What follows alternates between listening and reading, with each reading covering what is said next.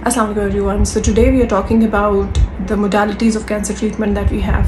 So number one is surgery. Surgery basically helps us in removing the cancer from the body.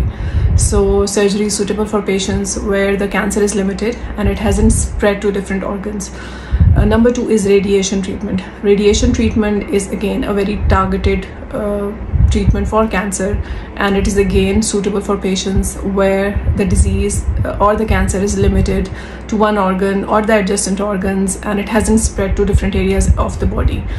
Number three treatment is chemotherapy. Chemotherapy treatment is given in the form of injections or drips and it is uh, given through the cannula.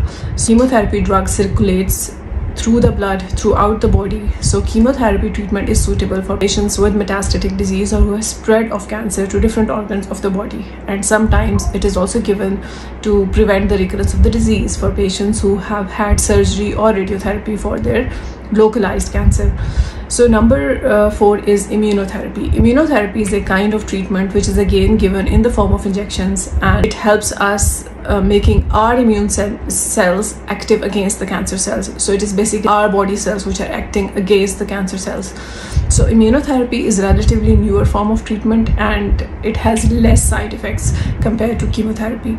Then another very effective treatment for cancer is targeted treatment. So targeted treatments are basically tablets uh, in most cases or sometimes injections and these uh, treatments are given uh, to those uh, patients who have a particular target. The targeted treatments only work on cancer cells and they don't uh, have uh, serious adverse effects on the normal body cells.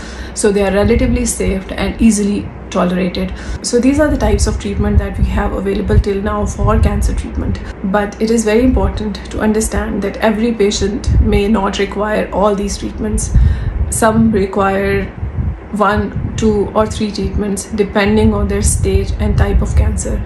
So it is not just random selection of treatments, it is a selection of treatment through scientific evidence and scientific uh, knowledge. Thank you very much.